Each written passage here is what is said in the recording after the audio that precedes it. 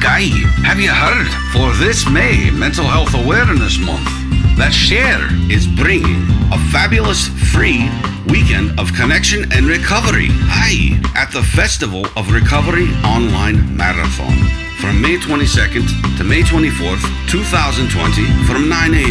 to 9 p.m. Lead a meeting, volunteer, or simply attend by Zoom. Sign up now for free. Aye, May is Mental Health Awareness Month. Aye.